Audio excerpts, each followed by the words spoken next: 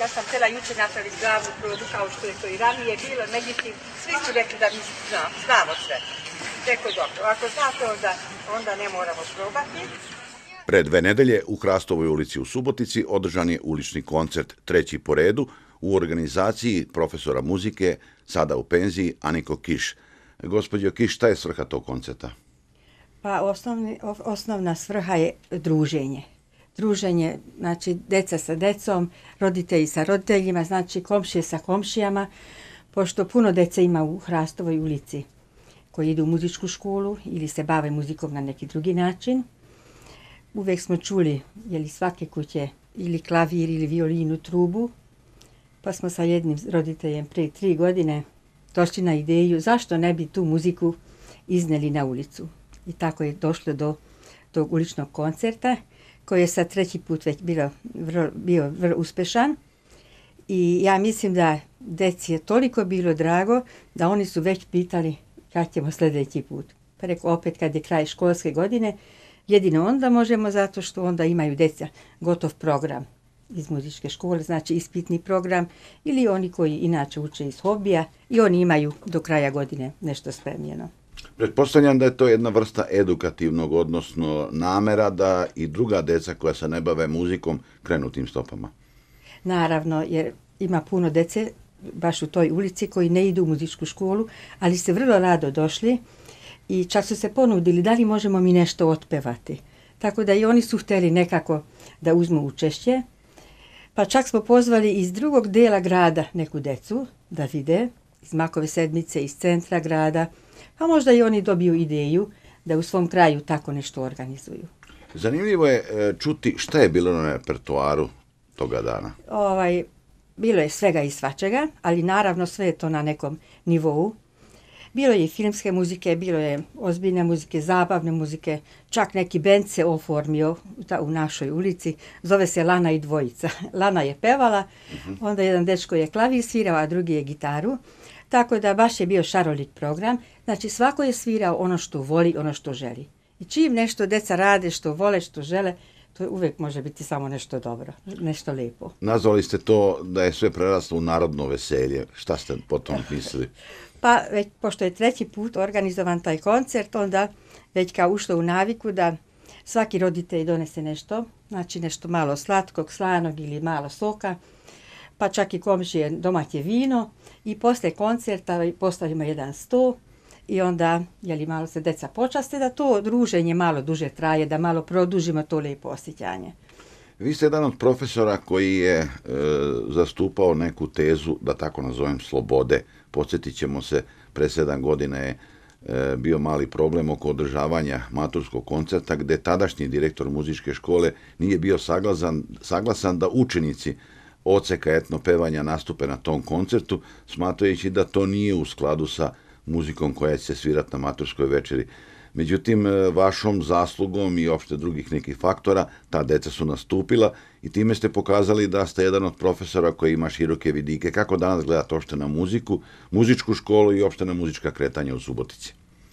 Pa ja mislim da ovaj prvo taj e, slučaj što ste spomenuli, to ja mislim da je tu neka stvarno kardinalna greška u organizaciji, zato što čim postoji jedan odsek u muzičkoj školi, onda taj odsek znači da ima legitimitet i taj odsek može da se prikaže javno.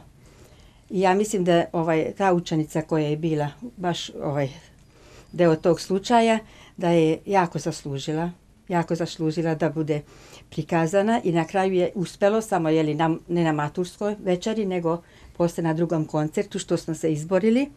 I pokazala je i u nastavku da on, njeno mesto je stvarno na, i na podiju i ona je akademski muzičar postala. I ja mislim da ćemo čuti još u toj učenici, ne znam da li smijem da kažem njeno ime, to je jeli, Jovana. Vuksanović. Vuksanović Jovana, jeste koja je juče postala majka. Jeste i čestitamo njoj, sad ne znam da li će pogledati jeli, emisiju. Samo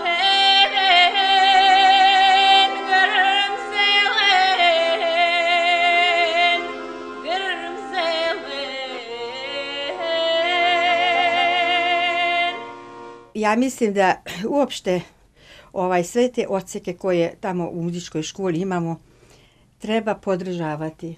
Treba, sad imamo i crkveni odsek, onda odsek za udarajke, isto tako i taj etno odsek koji se širi. Čista izvorna narodna muzika kad se neguje nema ništa lepše. Ja mislim da to je osnova jer već u detinstvu deci pevamo narodne pesme, dečje pesme i to je u stvari njihov identitet se onda stvara. Pa zar nije i Mozart stvarao svoju muziku na bazi narodne?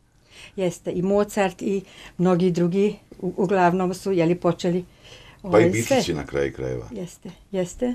Tako da i naša domaća narodna muzika koja, u stvari klasična muzika koja pre 50-60 godina počela da se razvije i ona je sve na bazi narodne muzike se stvara. Tako da narodni melos svugde je prisutno, sad negde manje, negde više, ali uglavnom svaki kompozitor to mora da nosi u sebi. Jedino onda može da postane jeli, ovako priznati kompozitor, priznati umetnik.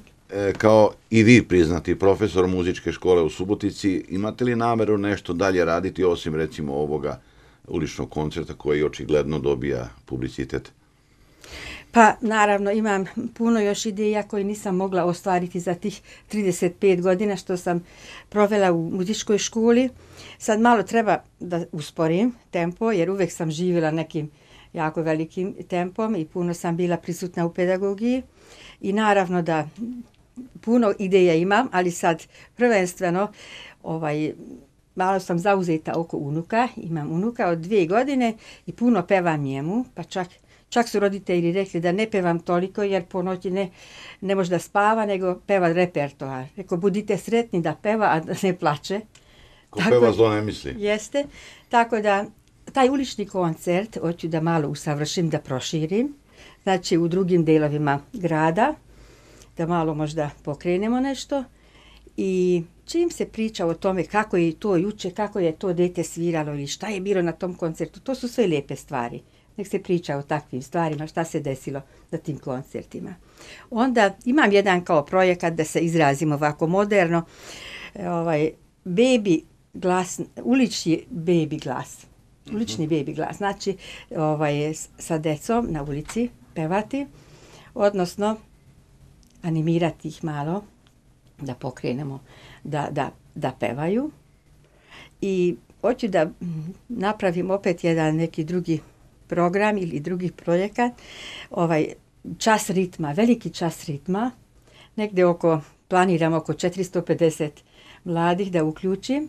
Znači tu improvizaciju koju radim već eto 13-14 godina što sam radila u muzičkoj školi, to da iznesem na neki na neko drugo područje ili na drugi način da to prikažem, jer sam na tu temu već bila pozvana u IPA projekat da učestvujem u Segedinu, pa tu na Paliću po sedam dana, pa sam dobila neko iskustvo kako bi to sve izgledalo ovako u nekim veli, veli, većim ovaj, merama, kako bi to izgledalo.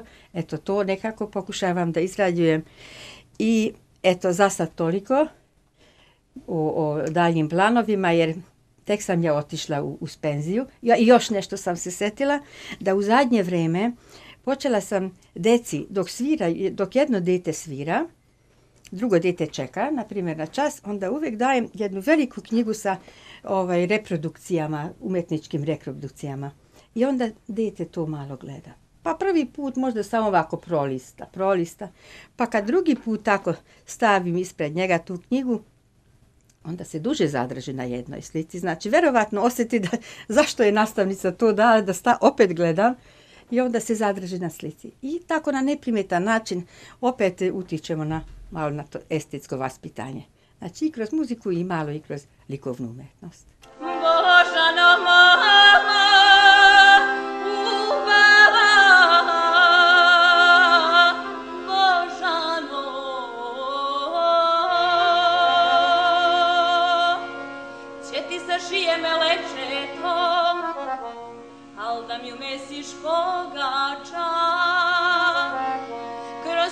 trepje brašno da seješ